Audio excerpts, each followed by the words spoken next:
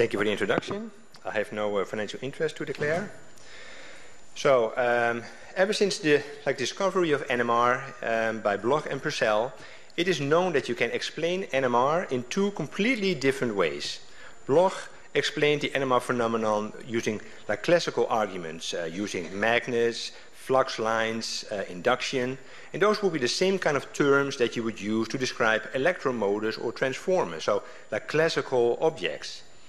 Purcell, on the other hand, he used a more spectroscopic or quantum mechanical view, in which the orientation of the spin is quantized, it has a corresponding energy level, and the system will be investigated through the absorption of RF energy. And these would be the same kind of terms that you would use in other forms of spectroscopy. For example, in infrared spectroscopy, where you sample energy levels that are associated with vibrational states. Now, the far majority of NMR textbooks that exist, they use the spectroscopic or quantum mechanical view. And the reason for that is, is that for the very advanced NMR experiments involving scalar coupling, for example, you do need the quantum mechanical um, tools. However, it is kind of unfortunate because for the majority of the experiments that we are doing, all of MRI and a lot of the MRS, the classical view is perfectly adequate and it is actually much more intuitive. So I hope that today I can show you that the classical view is the way to go for the majority of NMR experiments. So we start with a, a compass needle, which is basically a magnetized needle with a north pole and a south pole, and flux lines, magnetic flux lines uh, around the needle. This uh, entire ensemble can be characterized by a magnetic moment mu. Now, if there is no external magnetic field, the orientation of this needle can be in any direction because there is no preference. But as soon as you place it in an external magnetic field, for example the Earth's field, the needle starts to oscillate at its own natural frequency.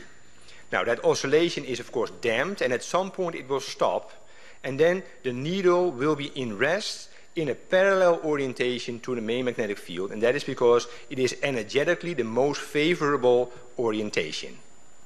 Now things will start to become a little bit more interesting if we can perturb this needle again. You can of course do that with your hand, but perhaps more interestingly is you can use it, you, you can also uh, perturb it with uh, an additional magnet, for example this bar magnet, if you move that left and right, you can see that you can perturb the needle again.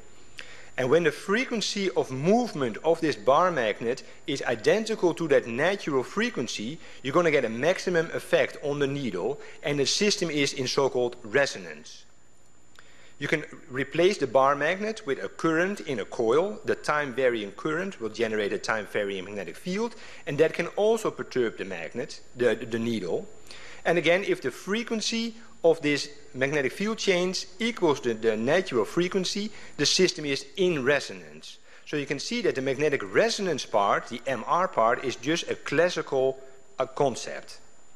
Now, if we now turn off the current in this coil and we let the needle uh, oscillate a little bit longer, you can see that you have a time-varying magnetic flux through the coil, inducing a current in that coil, which is very similar to the free induction decay we will see later. So also, electromagnetic induction is a classical concept. Now, of course, in NMR, we don't use needles, we use nuclear spins. And nuclear spin is difficult. That is a pure quantum mechanical entity, and to understand it, you have to go into you know, like quantum mechanics. However, for the purpose that we are using it, we don't have to understand what nuclear spin is. We just need to know how to influence it and how to manipulate it. So for all practical purposes, for our purposes, nuclear spin can simply be seen as a magnetic moment that is spinning around its own axis. Now, if you place that in an external magnetic field, it also starts to oscillate, just like the needle, but now that oscillation is a three-dimensional oscillation referred to as a precession. The spin is precessing in a cone around the uh, external magnetic field at a frequency that is so-called the Larmor frequency. And the Larmor frequency in megahertz is directly proportional to the external magnetic field expressed in Tesla, scaled by a gyromagnetic ratio constant, which is unique for the nuclear spin um, that you're you know, working with. Now, of course, we never look at individual spins. We always look at a large collection of identical spins. So have a look at that in the human brain. Let's say that we select a 1 microliter volume. In that 1 microliter volume, you might have as many as 10 to the power 19 proton spins, most of which reside in you know, the water molecules. If there is no external magnetic field, then these nuclear spins are randomly oriented in any direction because there's no preference. If we now take these nuclear spins and we put them on the origin of a Cartesian grid, we'll end up with something like this, which I like to refer to as a spin orientation sphere. And you can see that the, all the spins are in random orientations, and if you would add them all together, you, add, you basically end up with nothing saying that if you have no external magnetic field, there will be no net macroscopic magnetization. Now, what now if we place a subject in a strong external magnetic field? Well, the first thing that happens is that each of these nuclear spins start to uh, precess at the Larmor frequency. And to a very first good approximation, that is the only thing that happens. So that means that if we look at the spin orientation sphere, it is still completely random, but the with the exception that the entire sphere is rotating around at a Larmor frequency. Now, if this was the only effect of NMR, then NMR would never be the technique as we know it today. There is a second effect, much more subtle effect, that we need to actually gather, to generate a macroscopic signal. And that has to do with the fact that these nuclear spins and these water molecules, they're not stationary. But over a certain amount of time, they undergo translation, and perhaps more important, rotation. And while that happens, the nuclear spin experiences a wide range of local magnetic fields. They are mostly random, but because there is a strong external magnetic field, there is a slight bias of these local magnetic field to push the spins slightly towards a parallel orientation. So if you give the system a little bit of time, let's say a few seconds, then you end up with this spin orientation sphere. Well, you may say, this looks pretty random to me, and you would be right. More than 99.9% of this sphere is indeed completely random, giving you no magnetization. However, because of this effect, which is referred to as T1 relaxation, there will be a very small uh, um, fraction, typically less than 0.1% of the spins, they have now a bias towards the parallel orientation.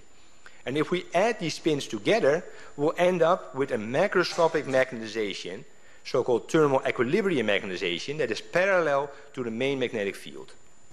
Now, this is at the level of the individual spins. How does it look macroscopically? Well, let's say that we have a sample and there is no external magnetic field. Then, of course, there is no magnetization. If we now turn on the magnetic field all of a sudden, then you can see that this longitudinal magnetization builds up exponentially over time according to this equation. And you can see that the time constant of this exponential curve is the so-called T1 relaxation time constant. And it, it, it, it, takes about four to five times T1 to reach that thermal equilibrium. Um, now this equation is valid for any perturbation, being it turning on the magnetic field or exciting your spins. Following each perturbation, the magnetization always tries to recover back to its equi equilibrium state. So this is now the situation that we have. We have a net ma macroscopic magnetization along the z-axis, and that is the, the signal that we want to observe. But it's very difficult to observe because there are other sources of magnetism in the sample that are many orders of magnitude larger than the nuclear magnetization. So how are we going to make a distinction between nuclear magnetism and other forms? Well, the thing that sets nuclear magnetism apart is that Larmor frequency. If we can you know, observe the Larmor frequency, we know that that is related to the nuclear magnetism. Now, the way to do that is to bring this magnetization to the xy plane. And you do that with a so-called um, B1 field, which is a secondary magnetic field, much smaller than the B0 field, that is rotating in the xy plane at the same frequency as the Larmor frequency. So the, the, the system is in resonance, and if it's in resonance, the B1 field has a coherent effect on M0, rotating it towards the xy plane. when you adjust the amplitude and the duration of the B1 field to rotate M0 by exactly 90 degrees, you have achieved excitation. At that point, you can turn off your B1 and then the magnetization rotates in the xy plane at the Larmor frequency. Now, does that magnetization stay in the xy plane forever? Of course not. It goes away with something referred to as T2 relaxation. This is the situation immediately after excitation and I've only shown the spins that were initially biased towards a parallel orientation along the z-axis and following orientation they're now biased along this y-axis. Now let's say that we wait 100 milliseconds. Then you can see that some of these spins have acquired a little bit of a different phase. In other words, you've, lose, you've lost a little bit of phase coherence. And if we add these spins together, we're going to get a slightly lower magnetization. The red arrow is slightly smaller. I do want to point out though that in this 100 milliseconds, the spins have rotated 30 million times when we're looking at protons at 7 Tesla, which is pretty amazing. This is pretty much the same as if you start with a bunch of clocks you let them run for 60 years, and at the end of 60 years, they're off by a tiny fraction of one minute, which is a pretty amazing level of phase coherence for these spins. Nevertheless, if you wait long enough, they do lose more and more phase coherence, and at, at some point, you have no magnetization in the xy plane left. So this is referred to as T2 relaxation, and it describes the irreversible loss of phase coherence. It is irreversible because it is based on these Brownian motions which are random and therefore not reversible. There's also something that's called T2 star relaxation that basically includes T2 relaxation but it also includes a reversible component. And that has to do with the fact that the magnetic field over an object is not necessarily homogeneous. It is not necessarily the same everywhere. If we look at this little square over here, you can see that if we look at the magnetic field, the magnetic field here is slightly larger than the magnetic field over there. That means the Larmor frequency is higher there compared to there. And that means once it is excited, those spins are starting to rotate at slightly different frequencies. At some point, they are starting to lose phase coherence. And if we add all of these spins together, we'll have less signal than if the magnetic field will be perfectly homogeneous. So that loss of signal because of macroscopic field inhomogeneity is referred to as T2 relaxation. Both T2 and T2 star relaxation can be described by exponentially decaying functions and in general T2 star is always shorter than T2. If you're going to do uh, shimming to optimize your magnetic field homogeneity, you're basically trying to minimize this inhomogeneity in order to get T2 star as close as possible to T2 as possible. So now we have basically all the ingredients for our NMR experiment. We have our sample, placing it in a magnet that builds up our magnetization along, the z-axis with T1 relaxation. Then we send in a B1 field through an RF coil. That B1 field rotates the magnetization towards the XY plane. Once the magnetization is in the XY plane, you turn off your B1 field and the magnetization starts to rotate around at a Larmor frequency while simultaneously decreasing because of T2 star relaxation. Now, we have a rotating magnetic field that can induce a voltage in a receiver coil. And it could be the same coil that you use to generate that B1 field. Going through the appropriate electronics, this is the signal that you ultimately receive. And that is the NMR signal that we're interested in. This is the signal as it looks like if the receiver coil is placed here. This is the signal if the receiver coil would have been placed there. This is the so-called free induction decay, and this is the NMR signal that you're interested in.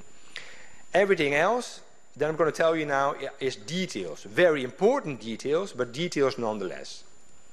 So our free induction decay is a time domain signal because the horizontal axis is a function of time.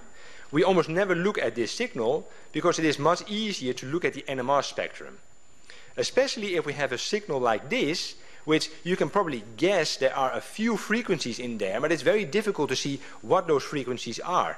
Doing the Fourier transformation, it is immediately obvious that this signal contains one, two, three frequencies at these relative amplitudes. So the Fourier transformation is simply a tool to analyze which frequencies are in a time domain signal and then just plotting it on a horizontal axis. Um, that's, that's basically all you have to know about it for now. Now, one very important feature of NMR is the so-called a chemical shift. Let's uh, pretend that this dot here is a nuclear spin. The applied B0 field and dus the field that the nucleus experiences are identical. That leads to a certain Larmor frequency and it leads to a certain peak at a certain frequency. But of course you never have just an isolated nuclear spin. There are always electrons around it. And those electrons are generating its own magnetic field that opposes the B0 field. In other words, the field, the magnetic field at the nucleus will be slightly lower because of the electrons. And that will shift the peak to a lower Larmor frequency. In other words, going to the right side, the electronic shielding around the nucleus increases. That decreases the magnetic field experiences by the nucleus. And because of the Larmor equation, that also decreases the resonance frequency. Now, of course, the proton is typically part of a larger molecule. Those other atoms might be pulling away some of the electron density, decreasing the shielding, therefore increasing the magnetic field at its nucleus and therefore increasing the Larmor frequency. So you can see where the peak um, arrives in the NMR spectrum is extremely sensitive to the electronic and the electron density of the molecule, giving you a lot of information about the, you know, the chemical structure of the molecule. So let's see if we can understand it if we look at lactic acid, which is one of the molecules we typically observe in vivo. Lactic acid is a single proton over here in blue and three protons in a methyl group over here. There are also a few oxygen groups and oxygen is a so-called electronegative atom which means it likes to draw electron density towards itself. That means that the electron density around this proton is low, the magnetic field at the nucleus is high and therefore the Larmor frequency is high, giving a resonance at a high frequency. These three protons in the methyl group are much farther away from these oxygens. They have a better electronic shielding, therefore a lower field at the nucleus and therefore a lower resonance frequency. And therefore lactate will always have two peaks, one at a high frequency and one at a low frequency. If we would have, um, if we would have performed the experiment at 3 Tesla, these would be the exact frequencies that you might get. But if you go to 7 Tesla, then these would be the frequencies that you would get. That's quite inconvenient because if I talk to someone who has a different magnet than me, well then I have to memorize basically all these numbers. It's very inconvenient. So what you want to do and what people most of the time do is you bring these numbers to a common axis. And that common axis is a so-called chemical shift axis expressed in ppm according to this equation. You basically need a reference compound. This is the reference compound, DSS. And these nine protons in these methyl groups are defined to be resonating at 0 ppm. With that definition and this equation, you can convert these frequencies to ppm, in which this peak is now always resonating at 1.3 ppm, and this resonance is always resonating at 4.1 ppm. If you measure it at 7 Tesla, 3 Tesla, or 1 Tesla. So that's a very you know, convenient way of, of making it a uniform axis. The final thing I would like to talk about is, uh, uh is you have to zoom in on the lactate NMR spectrum. So this is the lactate NMR spectrum again. You can see that the, the peak at 1.3 ppm is actually not a single peak, but it's actually two peaks. And the peak at 4.1 ppm is actually not a single peak either, but it's actually four peaks. Now, this is because of scalar coupling, and scalar coupling is a quantum mechanical effect. So let's quickly review the, the quantum mechanical view of NMR, in which the spins are either in an anti-parallel or in a parallel orientation. If there is no external magnetic field, they have the same energy level. However, if you now place it in an external magnetic field, the anti-parallel or beta orientation has a slightly higher energy level than the parallel or alpha orientation. The energy level difference is proportional to the Larmor frequency. And in a typical sample, 50% of the spins will be in the beta orientation and 50 in the 50% in the alpha orientation. Now, let's now have a look at a bunch of C13 um, nuclei that are excited, so the macroscopic magnetization is on the x-axis, and it rotates around at its Larmor frequency, the carbon-13 Larmor frequency. It will give a single peak in the carbon-13 NMR spectrum. Now let's now uh, assume that this carbon-13 is not going to be chemically bound to a proton. Looking from the carbon-13 towards the proton, it looks as if the proton can only be in the alpha or in the beta state. We know that we shouldn't overinterpret this because we know from the previous examples that most of the spins have random orientations. However, when it comes to scalar coupling, the carbon-13 sees only the proton in a parallel or an antiparallel, antiparallel orientation. If it is in an antiparallel orientation, the proton adds a little bit to the magnetic field of the carbon-13 nucleus, making its uh, resonance frequency slightly higher. If the proton is in the alpha state, it subtracts a little bit from the uh, Larmor frequency on the carbon-13 by an equal amount. In other words, what have we achieved here? We went from a single peak to two peaks of half the intensity, which are separated by a so-called J scalar coupling constant. Now, if the carbon-13 is split up by the proton, the proton must also be split up by the carbon-13 atom. And that is indeed the case. This is again the part that I will show you. The carbon-13 peak is now split into two peaks because of the scalar coupling. If you now look at the proton spectrum, you will also find that the proton peak is split in two peaks by the same J coupling constant. And that gives NMR a great amount of power because if you find a splitting J somewhere in your spectrum and you find a J splitting somewhere else in your spectrum, it is very likely that those two nuclei are very close to each other because scalar coupling only operates over, over a limited number of chemical bonds, typically up to three or four bonds maximum. Now let's now use this information to see if we understand the lactate spectrum. This is the proton at 4.1 ppm. That proton likes to scalar couple to one of the three protons in the methyl group, splitting once, forming a so-called doublet signal. Then it splits again because of the second proton in lactic, uh, in, in, in the methyl group, splitting, forming a so-called triplet signal. And then it splits again because of the final proton in that methyl group, forming a so-called quartet signal. If we look at the 1.3 ppm signal, those are the three protons, they do not have any scalar coupling among themselves for reasons I don't have time to explain, but they do couple to the one proton at 4.1 ppm, splitting once into a doublet. And there you have it then. You have your, uh, your um, uh, NMR spectrum from lactic acid, which is a quartet at 4.1 ppm and a doublet at 1.3 ppm. And if you see something like this in an unknown NMR spectrum, and the J coupling here is the same as the J coupling there, it is almost guaranteed that it has to be a CH group next to a CH3 group. There is really no other explanation. And this can be confirmed by looking at the area under the curve. If you add all of these areas together, it has a relative area of 1. And if you add this area together, it is a relative area of 3. Again, confirming the CH next to the CH3 group. So, in conclusion, I hope I've been able to show you that the MR part of NMR is a really a classical concept.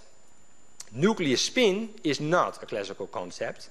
However, for the purposes that, that we are using it, for all of MRI and a lot of the MRS, it can simply be seen as a classical spinning magnetic moment. The chemical shift provides uh, a lot of information about the immediate chemical environment of, of, of the nucleus, and therefore it provides you a lot of detail about the chemical structure. Scalar coupling does the same thing, but for here it gives information on next nearby neighbors. Together, the chemical shift and the scalar coupling provide a very powerful link between the NMR spectrum and the chemical structure. And that this has made NMR a very powerful analytical tool, especially in chemistry, protein NMR, but of course also for in vivo MRS. Finally, I would like to uh, you know, recommend a few uh, things uh, for reading. This is a really wonderful paper describing those two separate explanations of NMR, the classical view and the quantum mechanical view. It describes the early experiments from Bloch and Purcell, how these two explanations came about, and it's a really wonderful read. This uh, paper by uh, Lars Hanson really opened my eyes in that the, the classical view is definitely the way to go to explain the basic principles of NMR. It is much more intuitive than the quantum mechanical approach. And along similar lines, this book by uh, Levitt uh, is also a really good read. It is much more focused on the, on the quantum mechanics, but it never loses the link to the classical view. So it's also a very good read. Um, then I would like to thank you for your attention.